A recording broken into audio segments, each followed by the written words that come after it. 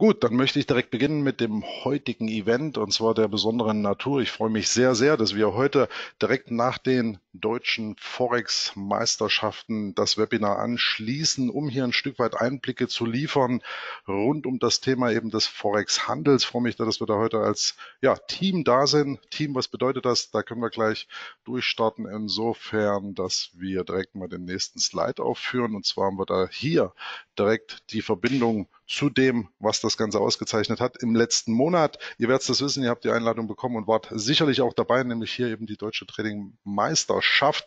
Und da haben wir heute den Jan Zagel auch zu Gast, unterstützt von Julian Strotz sozusagen als Moderator und das Ganze im Rahmen dessen, dass wir hier vier Wochen Forex Trading dargestellt haben. Wenn ich sage wir, dann geht es natürlich hier um die Company die deutsche Trading Meisterschaften ähm, initiiert haben und natürlich aber auch um JFD, wir als Marktzugang sozusagen für euch und ich hoffe, ein jeder hat da auch entsprechend partizipieren können, Erfahrung gesammelt, natürlich auch ein Stück weit vielleicht in eine bislang unbekannte Materie geschaut. Und darum geht es ja am Ende des Tages dass man neben Erfahrungen, die man sammeln kann und sollte, eben sich auch weiterentwickelt. Und insofern ist das Webinar heute natürlich auch ein Segen, weil wir hier den Gewinner des heutigen Webinars an den Start bringen, der sozusagen, ja, unglaublich starke über 300 Prozent in diesen noch nicht mal ganz vier Wochen eben absolviert hat. Jan Sagel seines Zeichens, er wird sich auch gleich vorstellen und eben wir hier als JFD an den Start gehen im Rahmen des Marktzugangs und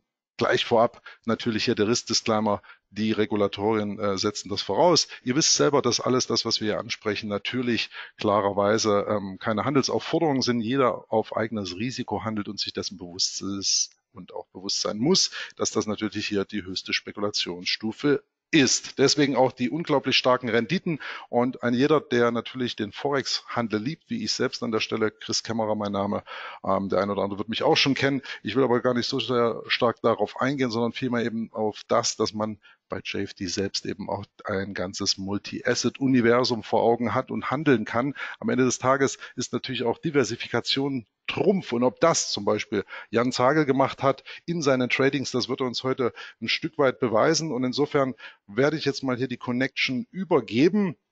Ich schalte erstmal das Mic für den Jan kurzerhand frei. Ähm, Jan, guten Morgen an der Stelle. Sei willkommen.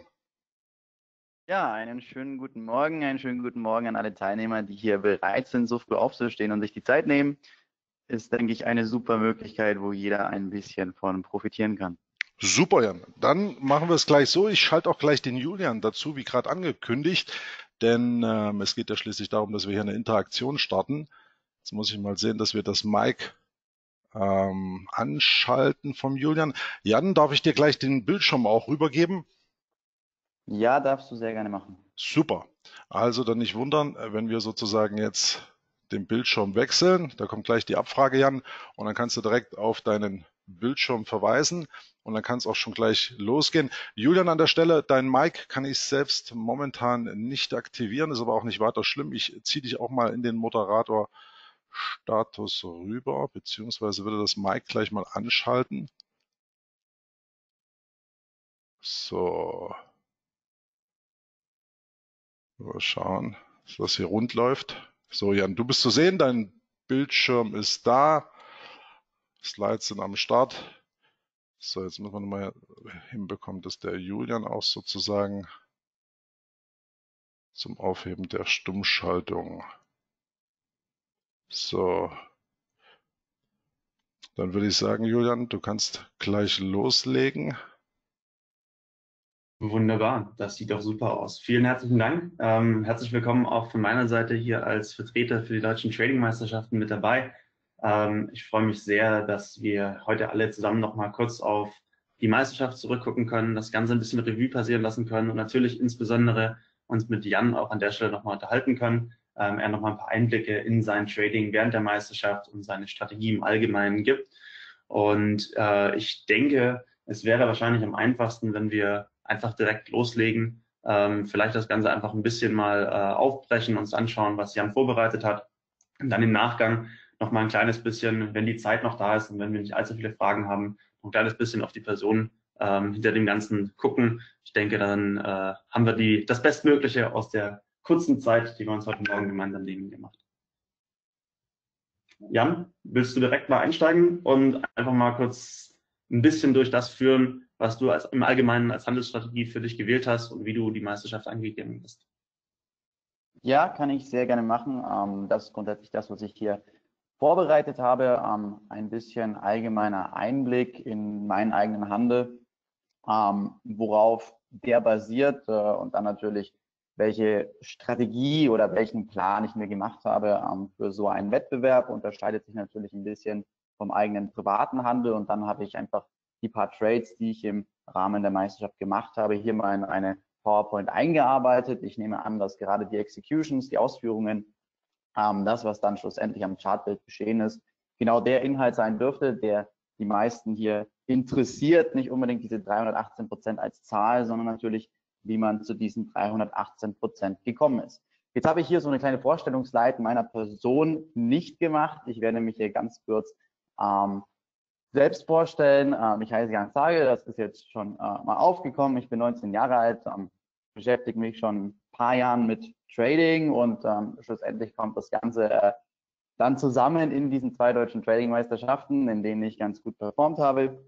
Einmal 2018 im Sommer und jetzt eben ähm, beim jüngsten Wettbewerb im Februar. Ähm, ich würde sagen, ich gehe hier einfach mal durch ähm, und erstes Thema der ersten Slide ist für mich ganz wichtig, nämlich Echtgeld gegen Wettbewerb. Das heißt, der Unterschied zwischen meinem Eigenhandel, ähm, was ich da mache und natürlich, wie man jetzt an so einen Wettbewerb rangehen würde.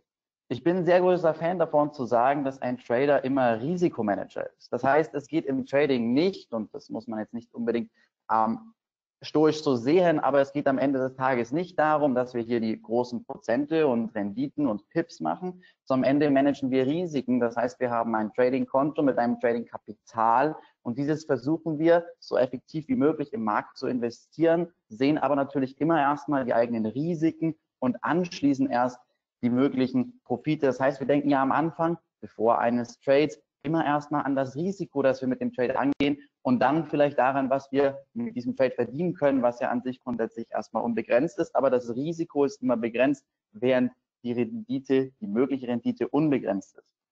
Das heißt, in meinem eigenen Handel bin ich in erster Linie Risikomanager, schaue ganz penibel auf mein Risiko, möchte in erster Linie mein Kapital erhalten und trade an sich nur gegen mich selbst beziehungsweise gegen den Markt. Ich möchte den Markt schlagen.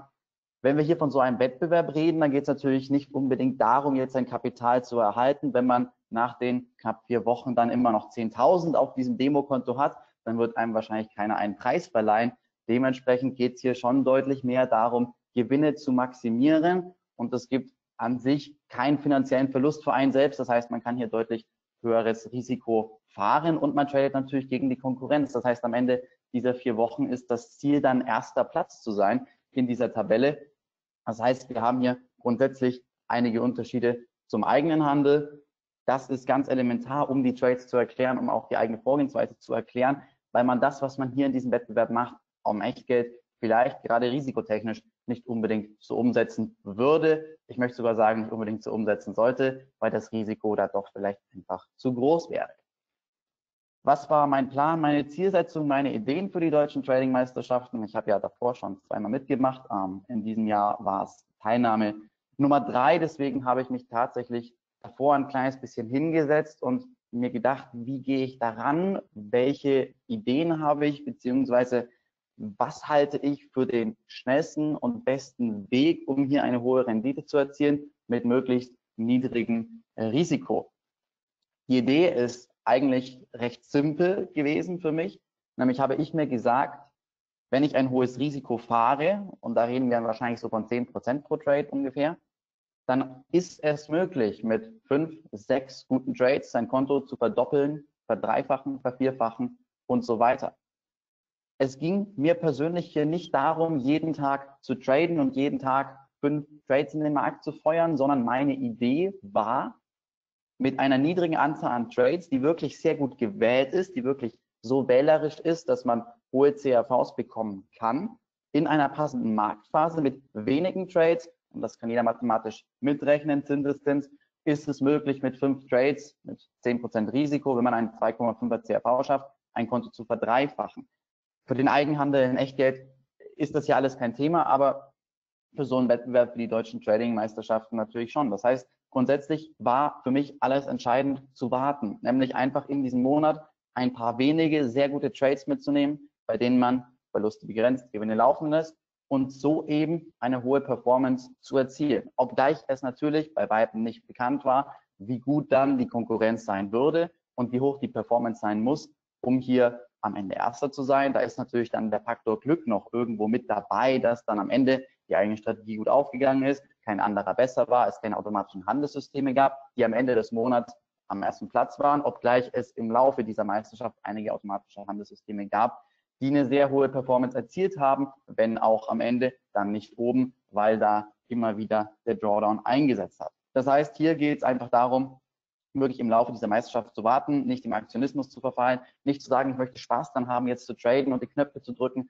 sondern wirklich mit sehr hoher Disziplin zu warten auf die Tage, auf die entscheidenden Situationen, in denen man traden kann. Ich habe einfach mal die ganzen Trades, die ich gemacht habe, hier in die PowerPoint eingearbeitet, damit das, ich denke, am besten nachvollziehbar wird, was ich gemacht habe. Ich bin an sich ein rein charttechnischer Trader ähm, im sehr kurzfristigen Bereich. Das heißt, fundamentale Einflüsse ähm, spielen in meinem Trading eigentlich gar keine Rolle. Natürlich, wann News kommen, ist interessant, aber ähm, darüber hinaus ist das für mich eher nebensächlich, beeinflusst den Markt, aber ich sage immer für mich, ich sehe alles, was zwischen Käufern und Verkäufern passiert im Chart. Das heißt, Nachrichten machen die Kurse, Kurse machen die Nachrichten, ist für mich per se erstmal nicht relevant. Natürlich, es gibt Nachrichten, aber ich schenke denen inhaltlich keine besondere Bedeutung. Dementsprechend ist das hier ähm, die Kapitalkurve, die auch bereits bekannt sein könnte, ähm, so wie sie online ist. Und ich werde die einfach mehr oder weniger nacheinander abarbeiten und sagen, so kam es zu den folgenden Trades. Ähm, es sind am Ende nur zehn Trading-Ideen, das heißt, das wird jetzt äh, gar nicht so lang. Ich denke, danach können wir uns da noch etwas breiter drüber unterhalten, ein bisschen das Grundsätzliche diskutieren, wenn es Fragen gibt ähm, und alles weitere danach. So, das war von mir aus Trade Idee Nummer eins. Wir befinden uns am 6. Februar. Äh, das Ganze begann ja, ähm, ich glaube, der erste Handelstag war der 2. oder 3. Februar. Ähm, ich habe da in den ersten Tagen erstmal nichts gemacht, weil es für mich keinen Markt gab, der interessant genug war.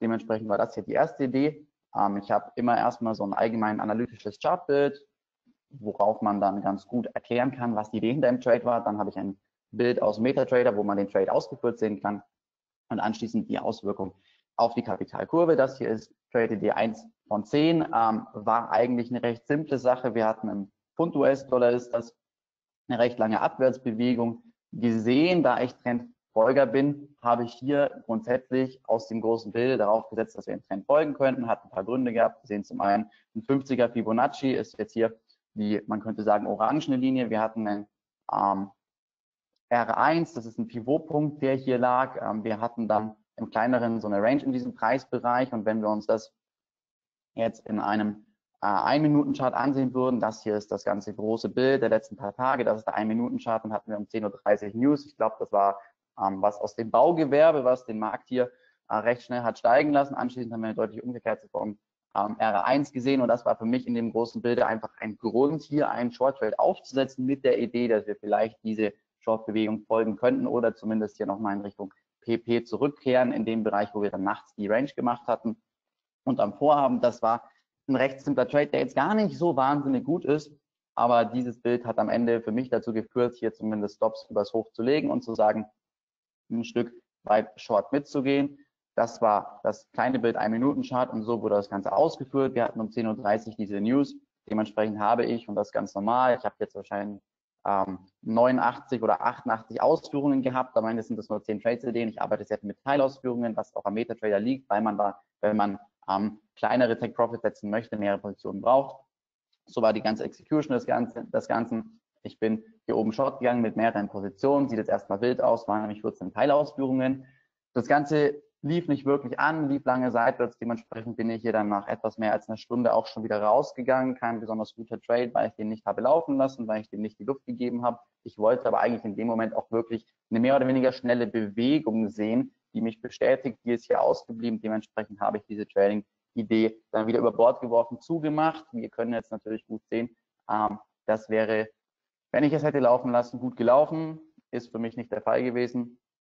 Ähm, dementsprechend war ich hier nicht geduldig genug, aber ich mag besonders die Trades, die schnell für mich laufen, wo ich mehr vorne liege. Ähm, mehr statistisch gesehen sind das die, wo ich am meisten Erfolg mit habe. Dementsprechend war es für mich hier nicht falsch, nachdem der Trade nicht anlief, ähm, diesen zu schließen, auch wenn das dann am Ende des Tages gut funktioniert hätte, ist alles hätte, hätte, Fahrradkette. So, das waren an sich die 14 Ausführungen, ähm, die dieses Konto hier von 10.000 auf 10.554 äh, gehoben haben. Das war an sich die erste Trade-Idee, ähm, die mich hier ein ganz kleines bisschen nach vorne gebracht hat, wenn auch ich sagen würde, dass hier das Risiko noch nicht ganz so hoch war, ähm, wie es dann im weiteren Verlauf wurde. Anschließend habe ich, und das war noch strategisch, etwas mit dem Risikofaktor herumgespielt und hier ungefähr 30 Ausführungen getätigt, ähm, die keine wirkliche Auswirkung auf die Kapitalkurve haben, kann jeder in dem ähm, Tool nachsehen. Also ähm, da kamen dann so 15, 20 Ausführungen ohne Bedeutung.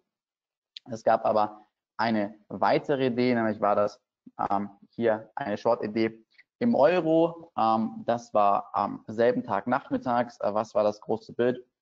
Wir hatten einen übergeordneten Abwärtstrend, in dem wir hier im kurzfristigen auch nochmal eine Short-Bewegung sehen. Das Ganze ähm, läuft hier in eine Range im Bereich 1,10. 1,10 ist eine sehr runde, psychologisch interessante Marke für die Marktteilnehmer. Ähm, aufgrund des Momentums an diesem Tag hatte ich für mich die Idee, dass wir hier vielleicht abends äh, noch die 1,10 nach unten durchbrechen könnten, dass hier vielleicht einige Marktteilnehmer sich für diese 1,10 interessieren, für diesen ganzen ähm, Preisbereich, weswegen ich hier äh, diese Short-Idee versucht hatte. Wir hatten ein eigentlich ganz gutes Momentum nach unten, ähm, bin dann hier mit mehreren Teilausführungen reingegangen und wie man sehen kann, das Ganze lief gar nicht an. Ähm, ich war jetzt zwar kurz mal im Gewinn, aber am Ende lief es nicht in meine Richtung und war dann für mich auch ein Grund, äh, ziemlich schnell wieder rauszugehen, weil ich gesagt habe, ich möchte hier ein paar wenige Trades machen bei den deutschen Trading-Meisterschaften und da kann ich es nicht gebrauchen, wenn was gegen mich läuft.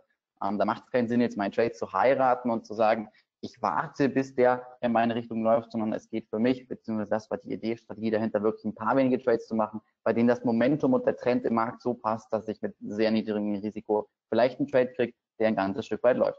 Dementsprechend das hier eine definitiv ähm, ja nicht erfolgreiche Idee, äh, wenn auch der Markt hier wieder danach noch in meine Richtung gelaufen wäre. Es ging nicht sofort, dementsprechend waren das hier jetzt ein 1-Minuten-Chart. Ähm, ich nehme an maximal 30 Minuten und ich war wieder raus. Auswirkungen auf die Kapitalkurve recht klar. Ähm, das ging hier wieder ein ganz kleines bisschen, jetzt optisch hier schwer zu erkennen, weil es aufgrund der Skalierung eingestaucht ist. Es ging hier wieder zurück auf 10.193 ähm, Euro auf diesem Konto. Anschließend kommt eine etwas spannendere Trade-Idee. Ähm, das ist in dem Fall eine Short-Idee im Euro-US-Dollar. Das Ganze war einen Tag später. Wir hatten immer noch das übergeordnete ähm, Chartbild. Wir haben diesen Abwärtstrend mit dem Tief knapp unter 1,10, korrigieren zurück, laufen wieder nach unten und bilden hier am Tief eine Range aus. Das war für mich ähm, ein ganz interessanter Clou in dem Moment, aufgrund der Tatsache, dass es natürlich grundsätzlich für mich Hochs und Tiefs gibt, die abgelehnt werden, wo ich sage, ähm, da sehen wir ein deutliches Reversal. Könnten wir jetzt zum Beispiel hier vorne sehen, an diesem Hoch oder an diesem Hoch. Der Markt läuft hin und läuft ziemlich schnell gegen, hält sich dort nicht lange auf. In dem haben wir hier sehr nah am alten Tief eine Range gebildet. Der Markt läuft dort seitwärts. Das heißt, es werden in einer Seitwärtsphase viele Positionen kumuliert der Marktteilnehmer. Das heißt, da gehen Leute long, da gehen Leute short und haben sehr wahrscheinlich ihre Stops über und unterhalb der äh, Begrenzung der Range. Das heißt, ich kann davon ausgehen, dass wenn wir aus so einer Range ausbrechen, wir hier vielleicht ein bisschen Bewegung kriegen, weil die Trader, die auf der falschen Seite sind, ähm, dann natürlich ausgestoppt werden und natürlich, sobald wir so eine Range verlassen, gibt es viele Marktteilnehmer, die flat sind, die sowas noch nutzen könnten. Wir haben diese Range genau im Tief gebildet. War für mich die Idee, dass ich sagen würde, okay, vielleicht setzen wir diesen Trend nach unten fort, einfach weil wir ein gutes Momentum in der Short-Bewegung hatten und weil so eine Range an einem Extremer immer eher ein Hinweis auf eine Fortsetzung ist, sofern wir natürlich im Markt das Momentum bekommen, dass wir hier nach unten ausbrechen könnten. Das ist die Idee hinter diesem Trade. Und die Umsetzung sah dann wie folgt aus. Also das ist das Bild, bevor die erste Ausführung gemacht wurde. Ähm, wir hatten hier, das können wir jetzt hier ganz leicht sehen, die Ablehnung vom PP, vom Pivot Point, hatten wir ein kleines Spike nach oben, lief gegen. Das ist das, was wir hier vorne sehen können. Anschließend kam eine Korrektur nach oben, dann kamen hier zwei Umkehrkerzen und das war genau der Preisbereich, wo ich die Short-Position begonnen habe aufzubauen. Ähm, ich lasse mich immer lieber über Teilausführungen einstoppen, als jetzt mit einem Klick alles. Stops lagen ganz einfach über dieser Kerze, es gab dann eine deutliche Shortbewegung, da habe ich aufgestockt, anschließend eine kleine Korrektur, habe ich die Position ganz reingenommen, haben hier einen schönen Abwärtstrend gesehen im Sinne von den fallenden Hochs. Ähm, und das war dann so der erste Trade, der für mich ähm, in diesem Wettbewerb wirklich anlief. Ähm, die Stops habe ich an den Hochs nachgezogen und anschließend, als wir neue Tiefs gemacht haben, habe ich die Position dann langsam begonnen auszuscannen, natürlich Gewinne laufen lassen. Ähm, aber für mich gab es hier ein paar technische Marken, wo ich gesagt habe, da nehme ich das Ganze raus. Insofern hier ein sehr niedriges Risiko, war nur ein paar Pips und ist glücklicherweise sehr gut gelaufen, was natürlich an der großen Marktphase liegt ähm, und auch natürlich ein Stück daran, dass man Gewinne laufen lässt. Das heißt, dass man hier nicht sagt nach 15 Pips, ich gehe raus, sondern ich versuche dem Markt Luft zu geben. Wenn auch natürlich man Teilausführungen macht, Teilschließungen macht, ähm, einen Teil der Gewinne mitnimmt. Ähm, hier äh, am Ende vom Durchschnittspreis äh, eine ganze Bewegung mitgenommen mit niedrigem Risiko. Das war an sich so der erste Trade, der mich nach vorne gebracht hat. Ähm, und äh, nach den Teilausführungen lag das Ganze dann bei 16,899, also 68, 69 Prozent im Gewinn. Nächster Trade war wieder eine Short-Idee im Euro-US-Dollar. Also wenn man sich jetzt einen Tagesstab im Euro-US-Dollar ansehen würde, dann würde man erkennen, warum. Ähm, wir hatten hier einfach einen sehr schön starken Trend, wo man natürlich, wenn man eine gute Ausführung hatte, ähm, sich gut einstoppen lassen konnte. Äh, in diesem Fall hatten wir dann in den Folgetagen wieder so eine Range, aus der der Markt schnell ausgebrochen ist. Ich hätte natürlich gerne einen Ausbruch gehabt, war ich nicht dabei. Es ist dann immer eine Frage von Timing. Ähm, wie viel Screentime hat man? Das heißt, wie nah am Markt ist man und bekommt man eine gute Möglichkeit, sich einstoppen zu lassen. Gab es nicht wirklich. Anschließend haben wir hier im Bereich des S1 ähm, so eine kleine Range gebildet am Tief. Und wenn man das jetzt in der kleineren Zeit dann halt ansieht, gibt es im nächsten Bild, ähm, gab es für mich, für mich ein, zwei Gründe zu sagen, wir könnten hier vielleicht nach weiter nach unten laufen. Einfach weil zum einen das Tief hier nicht aggressiv abgelehnt wurde. Das heißt, wir haben hier nicht, wie zum Beispiel an dem Tief vorne, eine aggressive Gegenbewegung vom Tief gesehen, sondern der Markt scheint diese Preise erstmal akzeptiert zu haben. Dementsprechend habe ich mich als wir nochmal eine kleine Umkehrkerze gesehen haben und ein bisschen Bewegung habe ich mich short positioniert. Die Stops lagen dann am Ende über der oberen Range. Der Markt lief auch damals ähm, tatsächlich ein Stückchen gegen mich. Ähm, ich habe dann aber festgehalten, weil aus dem großen Bilde ich behauptet hätte, dass dieser Trend äh, zumindest irgendwie fortsetzen dürfte. Ähm, lief ein Stückchen gegen mich. Anschließend kam allerdings die ziemlich direktionale Bewegung in meine Richtung und sobald wir hier unten das erste Mal einen deutlichen Dreher hatten, äh, eine gewisse Gegenbewegung, hatte ich diesen Trade auch wieder beendet. Also das war auch ein ganz klarer, ähm, ganz, ganz klassische Trendfolge, wenn auch man natürlich hier mit dem kleinen Tief hätte stoppen können und drüber. Ähm, in dem Fall lief es ein Stück gegen mich, aber die Grundidee, das heißt das übergeordnete Chartbild, ähm, hat dann da doch noch äh, soweit für mich gesprochen, als dass das hier zumindest ein erfolgreicher Trade geworden ist. Das war Trade-Idee Nummer vier. Ähm, und da waren wir dann fast schon bei 100 Prozent. Das heißt, man kann sehen, es reichen wirklich zwei Trade-Ideen. Aber Vorsicht natürlich, immenses Risiko, ist nicht gegen mich gelaufen, ist ein kleines bisschen Glück dabei, ist natürlich auch ein bisschen die Fähigkeit, das wählerisch auszuwählen. Aber man muss ganz klar sagen, dass hier natürlich ein bisschen der Hintergrund, das heißt die Erfahrung und so weiter, ähm, eine wichtige Rolle spielt. Ich sehe gerade, ähm, mit der Zeit wird es ein bisschen eng, das heißt, ich versuche das hier ein kleines bisschen zu beschleunigen. Trade-Idee Nummer 5, da gibt es äh, kein übergeordnetes Chartbild, das war recht simpel, ähm, kann man mit allgemeiner Charttechnik auch ganz leicht erkennen. Ähm, das ist so eine klassische Formation, nennt es wie ihr wollt, ähm, Dreieck, Teil, wie auch immer. Am Ende geht es ja eigentlich nur darum, dass sich die ähm, Order der Marktteilnehmer hier verschieben. Äh, Gold, 5-Minuten-Chart, ähm, übergeordnet, hat für mich jemand keine Rolle gespielt. Ähm, das ist äh, so eine Formation. Ähm, wir haben hier eine obere Begrenzung der Range. Wir, stehen, wir sehen äh, steigende Tiefs und für mich, als wir hier ein gewisses Momentum hatten, einfach ein Grund, ich glaube, das waren dann fünf Lot, ähm, hier long reinzugehen und Stop unter eins der Tiefs zu setzen. Ähm, die Range dieser ganzen Formation waren vier Dollar. Das heißt, ich habe einfach die vier Dollar oben drauf geschlagen und gesagt, äh, wenn wir hier nach oben ausbrechen, ein kleines bisschen das übergeordnete Bild noch eine Rolle gespielt, ähm, dann möchte ich hier eine gewisse Distanz mitnehmen, hat gut funktioniert, bin dann mehr oder weniger ziemlich zum Hoch rausgeflogen ähm, und habe damit dann nochmal äh, ungefähr 20 Prozent aufs Konto gemacht, was mich dann hier ähm, zumindest zur Verdopplung gebracht hat. Ähm, wie ihr sehen könnt, an sich zwei, drei gute Trades können reichen. Jetzt nicht jeder nachmachen, aber ähm, es geht natürlich in dem Punkt drum, hier in einem Wettbewerb, in dem es ausschließlich um die Performance geht und weniger um das Risiko, wenn auch es eine weitere ähm, Disziplin gibt mit dem Risikomanager. Ähm, am Ende fragt keiner wirklich nach dem Risiko, sondern es geht halt darum, das größte Konto zu haben. So, ähm, Trade-Idee Nummer 6, in dem Fall war das eine Short-Idee von mir. Ähm, wir sind jetzt schon ein paar Tage weiter, das war äh, 12. oder 13. Februar. Ähm, wir hatten immer noch im Euro eine deutliche Short-Bewegung Ähm, hier ganz einfach die Idee, dem Trend zu folgen, Short zu gehen. Allerdings geht es bei einem Trade nicht immer nur darum, wie das übergeordnete Bild aussieht, sondern wie das Timing ist. In dem Fall hat kein gutes Timing. Ähm, kann man recht simpel daran sehen, dass ich hier mehrfach versucht habe, Short zu gehen, hier oben den ersten Short Trade gesetzt hatte, als ich dachte, okay, wir könnten uns hier ähm, direkt unter dieses Tief schieben. Am Tief kam eine Gegenbewegung und dann bin ich hier so ziemlich auf den halben Pip irgendwie ausgestoppt worden. Kommt vor, ist normal passiert. Habe hier vorne nochmal einen Short probiert, ähm, der auch ein Stückchen gegenlief, der dann aber, weil wir hier nicht das Momentum hatten, auch wieder zugemacht wurde. Habe hier nochmal einen probiert. Also das waren mehrere Versuche, die nicht wirklich perfekt getimt waren, was dann eben zur Folge hatte, dass ich, wenn ich aufs Konto schaue, wir hier, gut, das kann man nicht gut erkennen, hier kann man es besser sehen, einen ganz kleinen Drawdown hatten, ähm, war jetzt äh, nicht groß, aber waren halt ein paar Trades, die nicht ganz liefen. Das war Trade-Idee Nummer 6. Trade-Idee Nummer 7 wird schon klassischer. Ähm, das war der 14. Februar. In dem Fall hatten wir zum ersten Mal so ein bisschen eine Seitwärtsphase im Euro, wo wir auch zum ersten Mal ein bisschen Momentum auf der Long-Seite gesehen hatten, was dann ähm, für mich dazu geführt hat, dass ich gesagt habe, wir könnten hier vielleicht ein Stückchen korrigieren im Bereich der Tiefs vom Vortag, diese ganzen ähm, Morgens, also dieser ähm, Opening Range, wenn man das als ähm, die nächtliche Bewegung als Range sehen würde. Im Euro habe ich gesagt, okay, wir könnten hier ein Stück gegenlaufen. Wir haben den PP über dem aktuellen Kurs. Wir haben da oben einen 200er. Wir sehen hier eine Seitwärtsphase, sehen jetzt erstmal Momentum.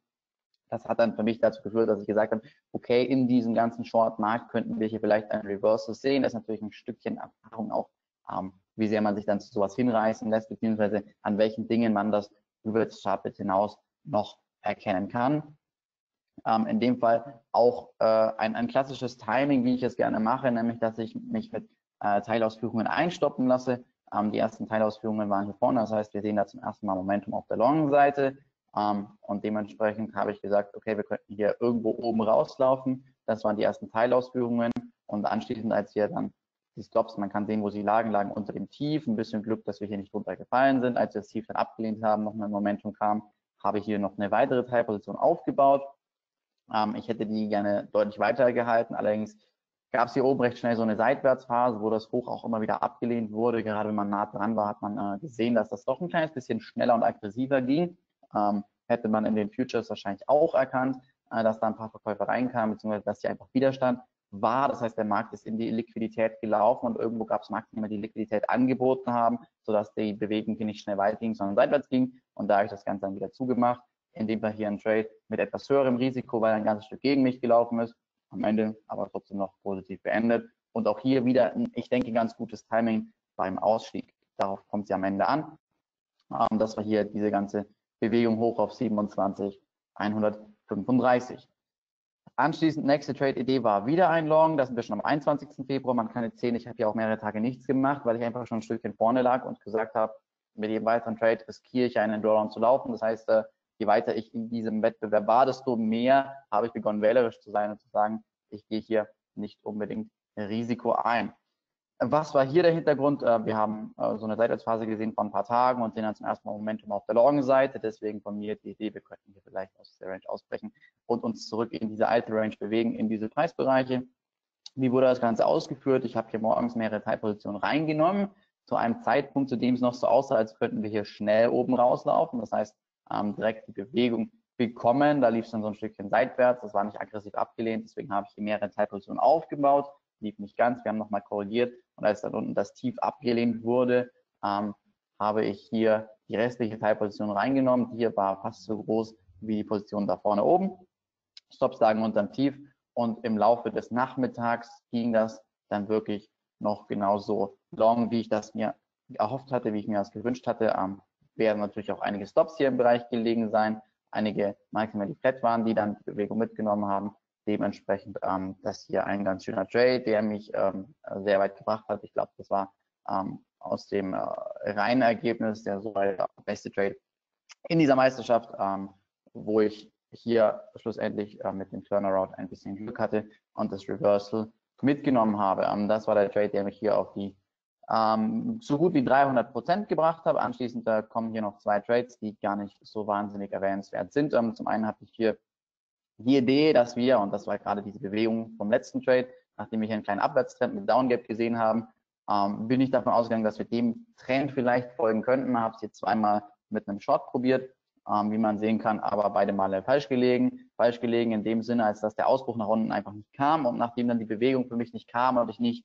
mehr oder weniger schnell vorne lag, habe ich die Trades dann jeweils recht schnell wieder zugemacht, weil ich eben in so einem Wettbewerb ein Trade, der gegen mich läuft, nicht wirklich gebrauchen kann, weil es am Ende darum geht, ein paar Trades zu finden, die halt perfekt laufen. Oder zumindest für mich war das die Strategie, die ich gesagt habe, könnte erfolgsversprechend sein. Ähm, dementsprechend hier drauf gesetzt, dass das Momentum nach unten kommt und wir uns das Define und dann eine weitere Bewegung kriegen, gab es nicht. Ähm, da hinten nochmal ein kleines bisschen Momentum aufgebaut, wieder versucht, wieder rausgeflogen, ist einfach so akzeptiert abgehakt und dann gab es noch den letzten Trade, da hatten wir ein sehr hohes Momentum im US-Dollar Japan-Yen, das war der allerletzte Handelstag einer der, der deutschen Trading-Meisterschaften, wenn sich jetzt einen Tagesstart von US-Dollar Japan-Yen ansehen würde, ähm, würde man da auch, also jetzt gerade sieht es natürlich noch böse aus, aber da kann man ganz gut sehen, wie das Momentum immer größer würde. Ähm, eine verrückte Tageskerze ähm, sieht man ganz, ganz selten. Ähm, da habe ich einfach gesagt, nachmittags, als wir hier Momentum ein neues Tagestief gesehen haben, okay, ich gehe einfach mit Short, weil die Marktteilnehmer hier so aggressiv am Verkaufen waren, beziehungsweise es halt keine wirklich echten Gegenbewegungen gab, wo das Momentum in der Gegenbewegung höher war als in der Abwärtsbewegung, sodass ich dann gesagt habe, okay, gehe ich einfach mit, ähm, habe ich mich hier irgendwo äh, mehrfach einstoppen lassen. Das erste Mal probiert, lief nicht sofort für mich, bin ich wieder raus. Und zweites Mal ähm, hiermit aus Versehen zu großer Positionsgröße, ähm, aber da dann beim neuen Tagestief gesagt, okay, jetzt gehe ich mit. Ähm, Stop über das letzte hochgesetzt und den Trade habe ich dann einfach bis einschließlich 23 Uhr laufen lassen, als dann äh, der Wettbewerb vorbei war. Ähm, das waren an sich die zehn Trade-Ideen, die dann, äh, das hier war der allerletzte Trade, die dann in so einer, ähm, ich denke, recht schönen Kapitalkurve geendet haben. Ähm, man muss natürlich sagen, ein Stückchen Glück dabei, Glück im Sinne von ähm, die ganze Competition, das heißt, wo waren die anderen äh, Teilnehmer, ähm, wie sieht die Rangliste am Ende aus, ein kleines bisschen Glück dabei, dass am Ende dann irgendwo die Eins ist. Aber ich denke, ähm, das ganz Entscheidende ist äh, das, was man hier unten sehen kann, nämlich sehr niedrige Verluste und einige Gewinne, die ein ganzes Stück gelaufen sind. Das heißt, äh, es geht am Ende eben darum, nicht in den Aktionismus zu verfallen, sondern auch äh, wirklich auf die guten Ideen zu warten. Für mich waren es am Ende halt nur zehn Trade-Ideen. Ähm, zehn Trade-Ideen können aber reichen. Äh, und ähm, schlussendlich darum, es muss auch nicht die hohe Trefferquote sein. Man sieht hier, ähm, dürften ungefähr 55, 60 Prozent gewesen sein. Sonst geht am Ende eben um das Verhältnis von Gewinnern und Verlierern das hier, denke ich, ganz gut umgesetzt war und dementsprechend äh, diese Kapitalkurve mit sehr wenig Drawdown, weil eben ein bisschen Glück ist dabei, hier nichts wirklich gegen mich lief, beziehungsweise nichts, was dann äh, nicht noch in einen positiven Trade umgewandelt werden konnte. Ähm, das soweit von meiner Seite. Die PowerPoint, die Slides, die vorbereitet waren. Ich denke, das konnte einigen Leuten so ein bisschen Einblick geben, wo waren die Executions und was war wirklich die Grundlage. Ähm, ich muss dazu sagen, am Ende kochen wir auch nur mit Wasser. Das heißt, ähm, hier war jetzt keine unglaublich komplizierte Strategie mit einem Algorithmus, sondern am Ende des Tages recht simple Charttechnik, ähm, recht simple Prinzipien, ein kleines bisschen Erfahrung und äh, besonders eine Disziplin, das heißt die Fähigkeit auf die Trades warten zu können. Ähm, soweit wäre ich damit fertig. Äh, Julian, Christian, ähm, je nachdem, was ihr habt, wenn ihr Fragen dazu habt, äh, sehr gerne an der Stelle ein offenes Gespräch. Perfekt. Jan, vielen, vielen Dank für die, für die Einblicke in deinen Handel. Ich finde das auf jeden Fall super spannend, das einfach auch nochmal zu sehen, wie du an den Markt rangegangen bist, wie du dich strukturiert darauf vorbereitet hast, äh, entsprechend auch deine Trades zu machen. Ich würde auch direkt ähm, also grundsätzlich habe ich ein paar Fragen vorbereitet. Ich würde auch sagen an alle anderen Teilnehmer, bitte den Chat nutzen, um hier auch entsprechend Fragen äh, zu stellen, die wir dann ähm, über im Laufe des nächsten, in den Laufe der nächsten 25 Minuten auch beantworten können. Ähm, ich würde direkt mit einer Frage einsteigen, weil du hast gerade nochmal das Punkt äh, Markttechnik angesprochen. Ähm, Angebot und Nachfrage machen den Preis. Das ist auf jeden Fall ähm, ein gesetztes Gesetz in, einer, in einem kapitalistischen System. Die Frage ist von meiner Seite, du hast am Anfang davon gesprochen, dass du im Preis äh, alle möglichen Einflüsse wie zum Beispiel Nachrichten siehst, hattest aber in einer von deinen Trade-Strategien auch gesagt, dass du ähm, die Nachrichten schon auch im Hinterkopf hattest, weil eben dadurch auch Volumen in den Markt reingekommen ist. Guckst du dir den Nachrichtenkalender so ein bisschen an? wenn du dich auf deinen Handel vorbereitest, um einfach im Hinterkopf zu haben, wann Bewegungen sich verstärken könnten, beziehungsweise wann eben einfach auch Liquidität im Markt da ist? Oder ist das eher was, was du zufällig wahrnimmst, wenn du so oder so starke Bewegungen siehst, beziehungsweise das im Nachgang in deinen Analysen einfließen lässt? Ähm, selbstverständlich ist für mich besonders relevant, wann Nachrichten kommen. Das heißt, mich interessiert am Ende des Tages eher weniger, was jetzt die Nachricht ist. Das heißt, sind es jetzt 175.000 geschaffene Stellen bei Non-Farm Payrolls oder sind es 275.000, ist dann für mich im Detail nicht relevant. Aber natürlich, wann kommt die Nachricht? Ähm, selbstverständlich schon relevant. Ich habe immer ein größeres Bild, das heißt ähm, charttechnisch, in dem Fall war es jetzt der Trade in Pfund, in dem ich halt den Markt Short gesehen hatte. Ähm, dann gab es die positive Nachricht und nach der positiven Nachricht eine kleine charttechnische Gegenreaktion und eben die habe ich genutzt. Das heißt, ich habe in dem Fall gesagt, okay, wir haben ja gerade eine positive Nachricht eingepreist, wir haben aber im langfristigen einen Abwärtstrend. Dementsprechend habe ich gesagt, okay, diese Nachricht hier gibt mir die Möglichkeit, in den Markt einzusteigen. Das heißt, ähm, die Uhrzeit ist für mich relevant, wann was kommt, wann eine äh, Frau Lagarde spricht, ähm, wann es Zinssätze gibt und so weiter, natürlich völlig relevant. Ähm, aber dann das Detail der Nachricht, das heißt, die Frage ist ja immer, wie, was erwartet der Markt, dann wie ist die Nachricht und wie reagiert der Markt. Ich weiß ja nie, was der Markt erwartet. Ähm, deswegen kam ich persönlich mit klassischem News Trading im Sinne von, okay, das hier ist die Nachricht, ich mache jetzt einen Trade auf die Nachricht, immer nicht so sonderlich weit. Dementsprechend habe ich halt gesagt, okay, Charttechnik ist schön und am Ende des Tages alle Informationen, die es gibt. Der Chart zeigt mir eigentlich nur die Zusammenfassung der einzelnen Kurse und die einzelnen Kurse sind ja nichts anderes als die Repräsentation von Angebot und Nachfrage. Also alles, was zwischen Käufern und Verkäufern passiert, sehe ich im Chart. Dementsprechend bilde ich alles, was ich mache, auf Charttechnik, wenn aber natürlich ähm, die Uhrzeiten der Nachrichten für mich interessant sind. Ich lese mir auch mal durch, was die Nachricht ist, aber ich lasse mich jetzt ähm, von einer gewissen Anzahl geschaffener Stellen oder von einem gewissen Zinssatz nicht zu einem Trade verleiten, weil ich eben noch viele andere Faktoren habe, ähm, die ich als wichtiger gewichten würde, ähm, obgleich aber natürlich News Trading und alle, die das interessiert, ähm, seine Berechtigung hat, aber für mich persönlich jetzt äh, keine besondere Aussagekraft für die Trades, aber natürlich man kann sowas als Einstieg nutzen, wie zum Beispiel in jenem Pfund Trade. Hm. Okay, das ist ein Punkt, den hört man immer wieder, dass einfach die Nachrichten als Katalysator verwendet werden und dass die Nachrichten per se also ob das jetzt besonders hohe oder besonders geringe Zahlen waren für den markttechnischen Händler nicht besonders, also nicht ausschlaggebend ist. Nichtsdestotrotz ist einfach wirklich ein wichtiger Faktor für alle nochmal zu verstehen. Ist Nachrichten jetzt ein Faktor, um einen Aktionismus zu verfallen und speziell auch auf die Nachrichten zu warten und zu handeln oder nicht? Oder wie du das angehst. Von daher gesehen, äh, vielen Dank für den Einblick an der Stelle. Stichwort Aktionismus. Du hattest vorhin auch ein bisschen von Spaß gesprochen beim Handel und dass man nicht einfach nur aus Spaß handeln sollte, weil es schlussendlich darum geht, Situationen im Markt zu finden, die ein gutes Chance-Risiko-Verhältnis oder auch Ineffizienzen ähm, im Markt finden lassen und sehen lassen und dann entsprechend an dieser Stelle einzuhaken, um daraus einen Profit zu machen. Wie gehst du ähm, in deinem Trading-Alltag damit um, dich zu bremsen und Disziplin an den Tag zu legen und die Disziplin auch zu halten? Ähm, grundsätzlich ist das eine recht schwere Frage, ähm, weil es, denke ich, und das ist jetzt gerade das für, für die ähm, eher neueren Trader, ähm, wo ein Stück weit jetzt so eine jahrelange Erfahrung fehlt. Ähm, äh, es gibt, finde ich, kein Rezept oder ähm, nicht wirklich irgendeine Möglichkeit oder eine, eine, Fähigkeit oder einen Weg, ähm, in dem man Disziplin unbedingt reinbekommt. Also bei mir persönlich ähm, war es einfach eine Frage von Zeit. Je länger ich getradet habe, desto disziplinierter wurde ich, weil ich einfach mit der Zeit ähm, besser gelernt habe zu wissen, was eine gute Situation ist. Ähm, wo es sich lohnt, eben Kapital zu riskieren und äh, was keine ist. Ähm, dementsprechend äh, habe ich natürlich eine mehr oder weniger klare Strategie. Das heißt, ich möchte ganz gewisse Setups sehen, um einzusteigen in einem übergeordneten Marktverlauf. Ähm, aber an sich ist es was mit, mit Erfahrung, dass es irgendwann kam. Ähm, ansonsten muss man für sich selbst halt einfach zu der Überzeugung kommen, dass der einzige Weg, erfolgreich zu traden ist, auf sehr gute Signale zu warten, ähm, wobei das natürlich immer damit konkurriert, äh, dass natürlich Trading was Interessantes ist, dass man dann vielleicht acht Stunden am Tag seinen Job nachgeht, um dann abends traden zu dürfen. Da möchte man dann natürlich nicht vom Chart sitzen und gesagt bekommen, du darfst nicht traden, weil es gerade keine gute Situation gibt. Ähm, das heißt, äh, man muss, glaube ich, oder in meinem Fall war es einfach die Überzeugung, dadurch, dass es anders nicht erfolgreich ging, dass ich irgendwann gemerkt habe, okay, wenn das hier finanziell, monetär erfolgreich sein soll, dann muss ich eben diese Disziplin an den Tag legen und muss mir eben eine Strategie ausarbeiten und am Ende diszipliniert darauf warten. Ähm, es gibt nicht wirklich so einen Trick 17, ähm, der mir dabei geholfen hat, sondern es ist einfach die Zeit, die zur Überzeugung geführt hat. Ähm, und die Überzeugung führt am Ende des Tages Disziplin. ich denke, es gibt da nicht viele Wege, außer entweder sich eine sehr, sehr klare, fest definierte Strategie festzulegen, bei der man so viele objektive Regeln hat, dass man halt eigentlich nur Ja und Nein sagen kann und dann halt nur einen Trade machen sollte, wenn es ein Signal gibt.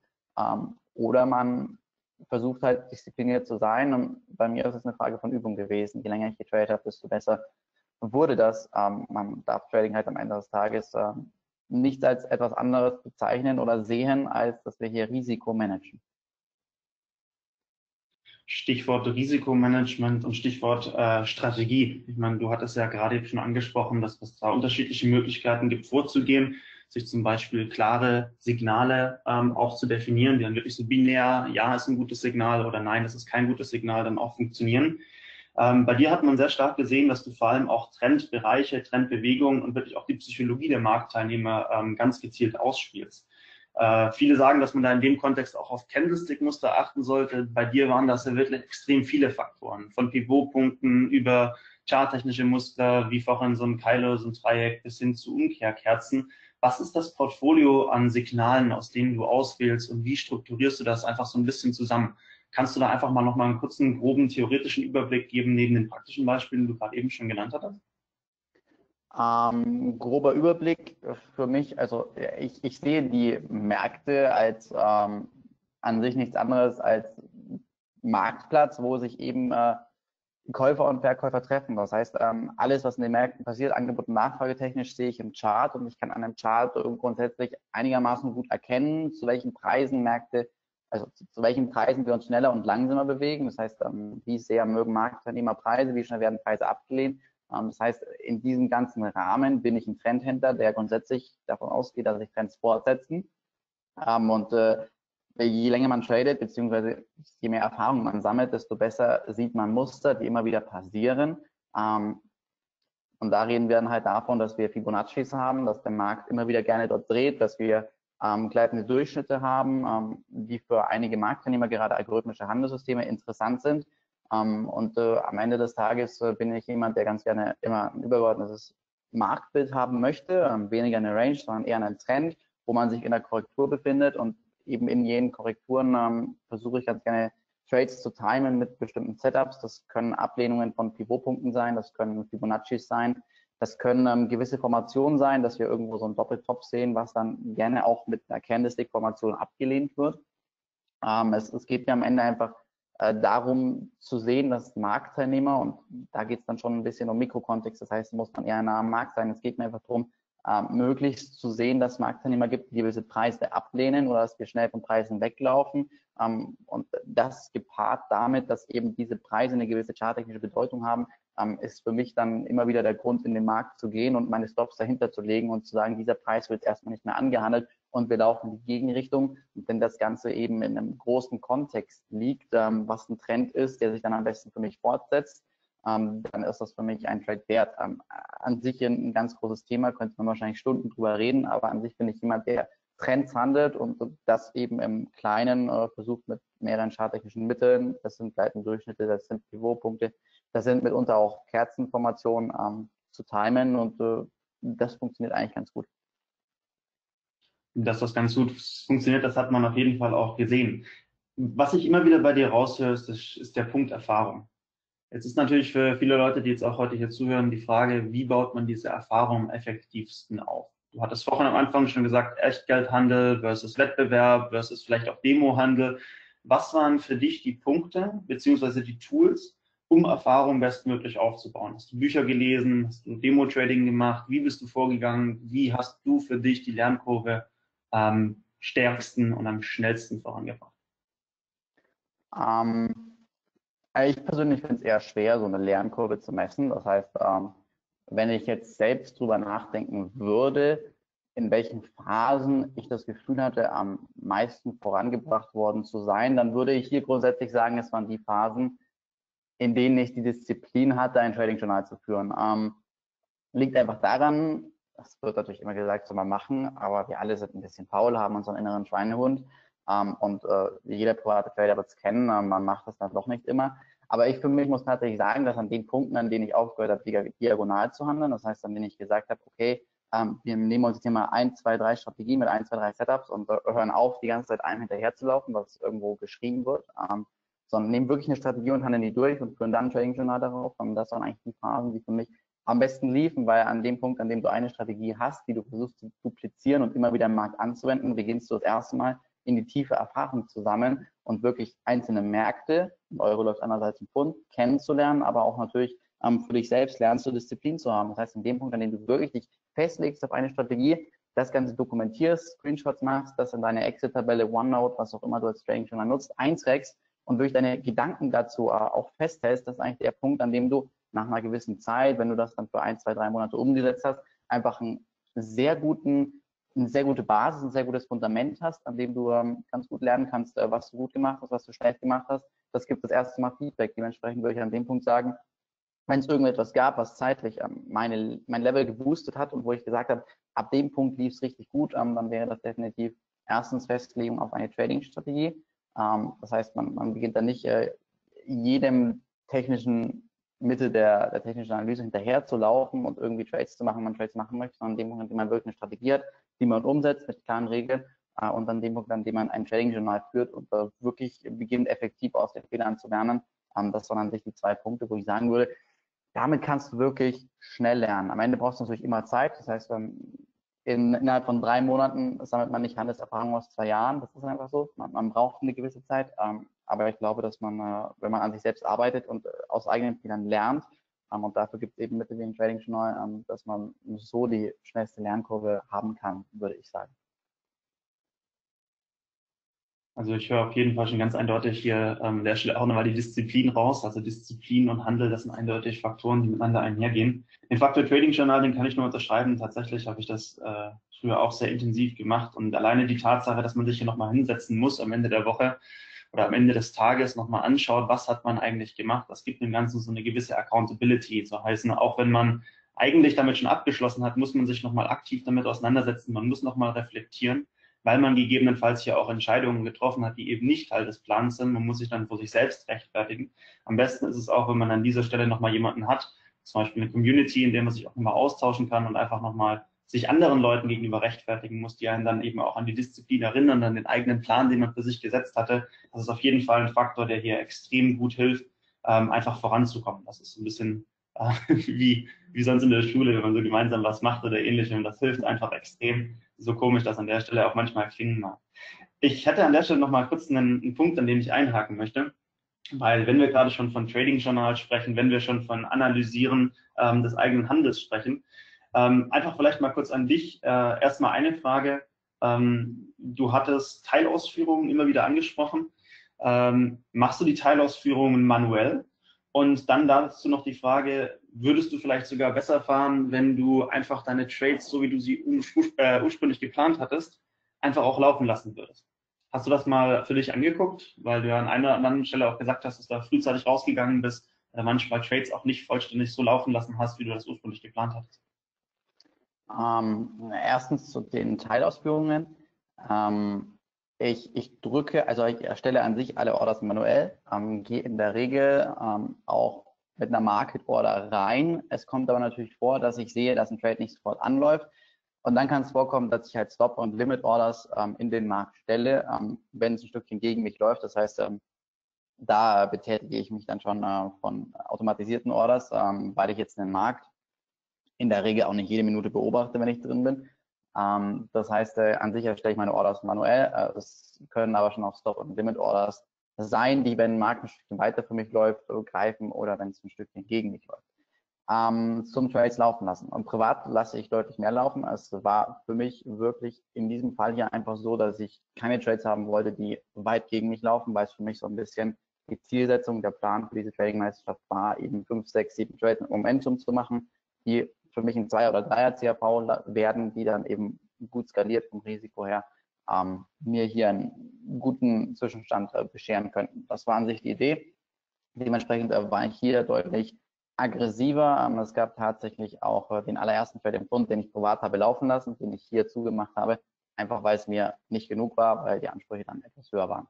Ähm, dementsprechend, ähm, es ist äh, immer eine schwere Frage, ähm, sowas wie Trade-Optimierung, ähm, weil man es finde ich, gar nicht so einfach auswerten kann, weil da halt ziemlich viele subjektive Bestandteile drin liegen. Nehme ich den Trade wahr und äh, ein kleines Stückchen, wie ist jetzt heute meine Stimmung und bin ich heute eher positiv drauf, negativ drauf und äh, wie sehr glaube ich an die Trading-Idee und ähm, wenn man dann natürlich ein Stück vorne liegt, will man sich nichts wegnehmen lassen. Ähm, super viel Psychologie in so einem Trade-Management vorhanden. Dementsprechend habe ich für mich gemerkt, dass das ähm, am wenigsten stressvolle äh, definitiv ähm, ja, die Arbeit mit Teilausführungen ist, äh, weil man eben so eine ganze Position laufen lassen. Ähm, das erfordert schon immer etwas mehr ähm, psychologische Stressresistenz, aber ich für mich sage, ähm, ich möchte natürlich alles optimieren, aber ich finde es psychologisch gesehen am einfachsten, mit Teilausführungen zu arbeiten, wenn auch gleich es immer mal wieder Marktphasen und Momentum gibt, in dem ich viel laufen lasse. Hier war jetzt äh, für mich der Spielraum ein kleines bisschen enger, weil ich gesagt habe, im Laufe dieses Wettbewerbs ähm, möchte ich eben keinen richtigen Minus-Trade haben und ein Teil davon war eben, wenn was nicht anläuft, mehr oder weniger schnell zuzumachen, ähm, weil es eben vom Risiko doch so hoch war, dass wenn da mal ein Trade länger gegen einen läuft, ähm, ja, man hier doch ein kleines bisschen einbüßen kann. Dementsprechend war ich hier etwas mit kürzerer Leine unterwegs. Jan, jetzt hast du gerade ein Thema aufgemacht, über das wir uns äh, mindestens nochmals Stunden unterhalten könnten. Äh, Trading-Psychologie. Trading-Psychologie ist wahrscheinlich einer der ähm, essentiellsten Bestandteile, um langfristig auch erfolgreich handeln zu können. Schlussendlich muss ein Trade gemanagt werden, wir müssen mit Drawdown-Phasen umgehen können. Gleichzeitig muss man aber auch mit Erfolg umgehen können. Nicht übermütig werden, dann plötzlich nicht zu hoch hebeln. Ähm, Bottom line des Ganzen ist aber trotzdem so eine positive Einstellung, wenn man sich an den Markt begibt. Weil du hattest ja gerade gesagt, dass du, ähm, je nachdem, wie du drauf bist, auch ein bisschen anders ähm, den Markt wahrnimmst und entsprechend nachher auch eine reine ähm, objektive bzw. eine reine statistische Analyse von deinen Trades zur Optimierung gar nicht so einfach ist.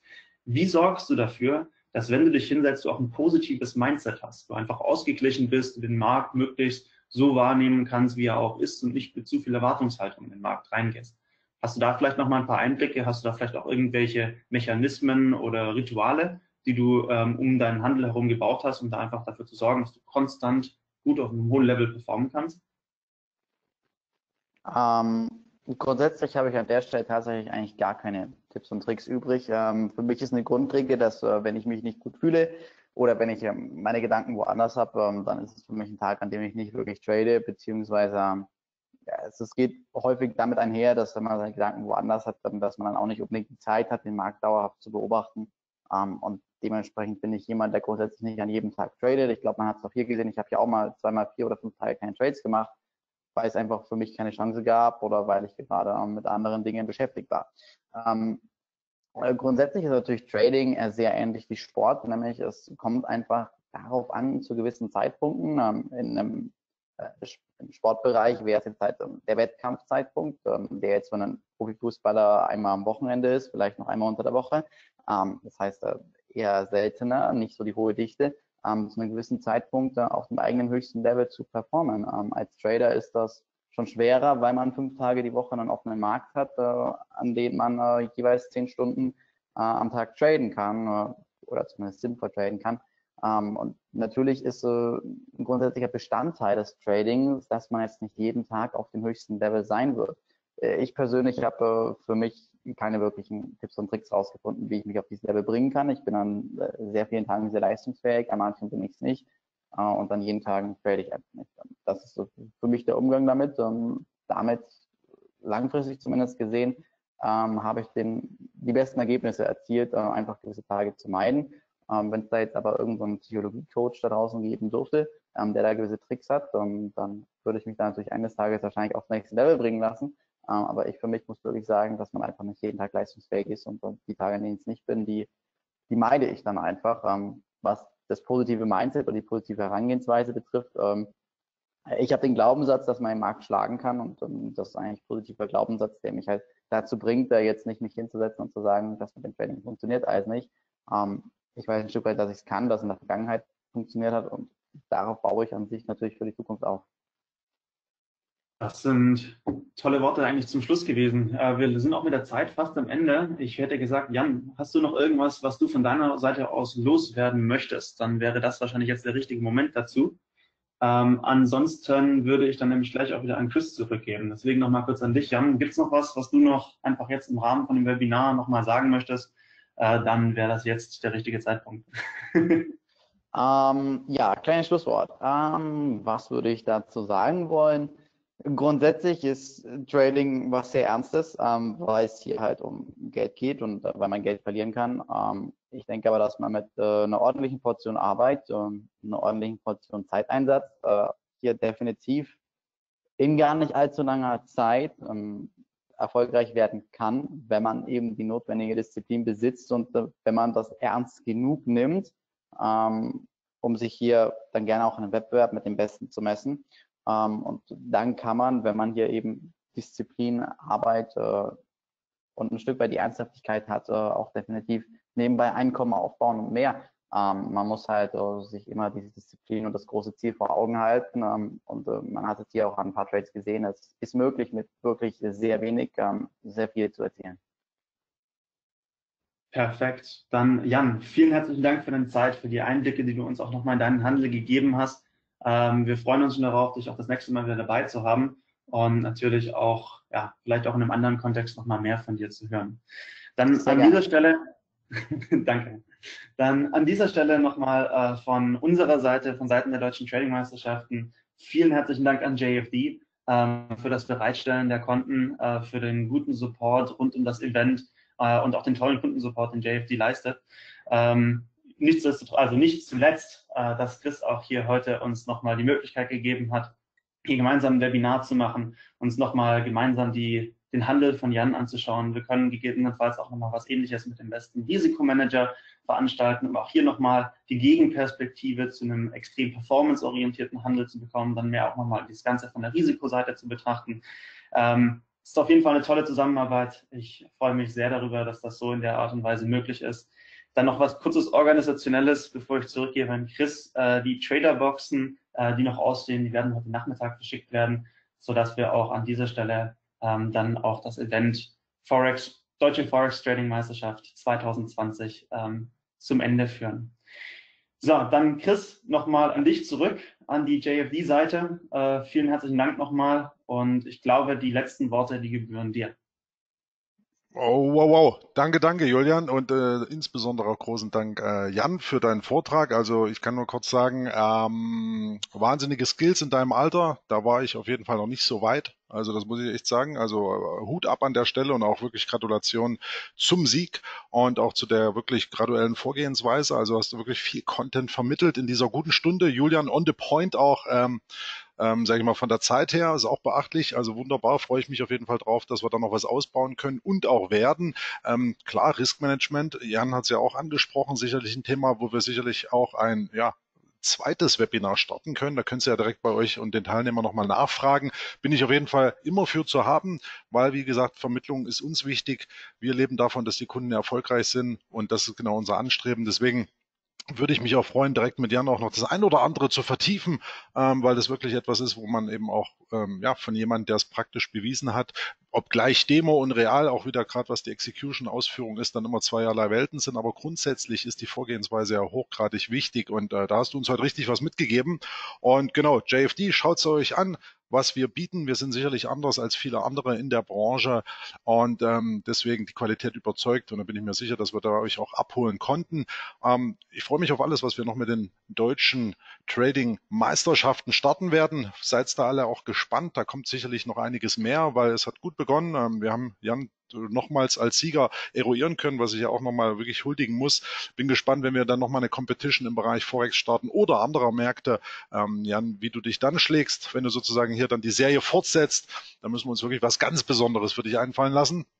Aber da gehen uns sicherlich die Ideen nicht aus. Insofern kurz vor neun, jetzt eröffnet dann auch der DAX-Kassamarkt. Und für alle die, die dann schon gespannt jetzt an den Bildschirmen kleben, wünsche ich da einen erfolgreichen Handelstag, ohnehin einen erfolgreichen ähm, weiteren Fortgang im Trading. Und ansonsten will ich da das Ganze jetzt auch beschließen. Bedanke mich, wie gesagt, auch für die Teilnehmer, für dich, Julian, wie du das moderiert hast. Auf jeden Fall perfekt on the point. Und natürlich, ja, der Protagonist schlechthin, Jan. Gratulation als Abschluss für dich, auch von einigen Teilnehmern nochmal. Und insofern Happy Trades at all. Und ich würde mich freuen, wenn wir uns irgendwo wiedersehen, wieder hören. Und insofern noch einen wunderschönen Wochenverlauf. Und in dem Fall gehe ich gleich auf. Eine Aufzeichnung gibt's on top für alle Teilnehmer ohnehin. Und in dem Sinne, auf bald und beste Grüße. Ciao, ciao. Auf Wiedersehen. Tschüss.